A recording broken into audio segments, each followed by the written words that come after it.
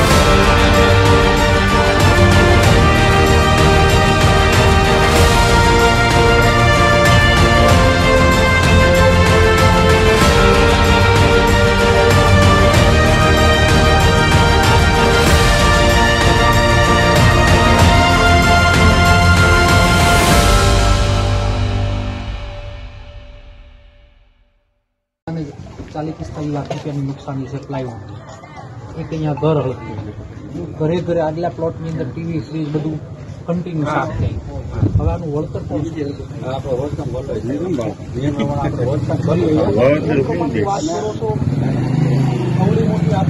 પહેલા એમાં લાખ રૂપિયા કોઈ નથી આપ્યા. તમારી બેદરકારીના કારણે મેન્ટેનન્સના કારણે આજે સમજી લો કે એક વર્ષને પાંચ દિવસ થયા. વાવાઝોડું ગયું એને. એક વર્ષમાં તમે ગામડાનું મેન્ટેનન્સ નથી બધું લટકાઈને જતા રહ્યા વાયરો આવે એક ભાઈ તો એમ કે મારે ચૌદ ગ્રામ શેરીમાં વચ્ચે લબડે. લાગત એમને વાયરો લબડે. આ દોઢ મહિને મહિને ગામમાં હેલ્પર નથી.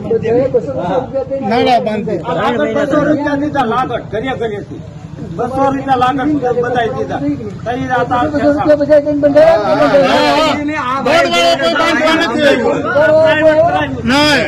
આવ્યું નથી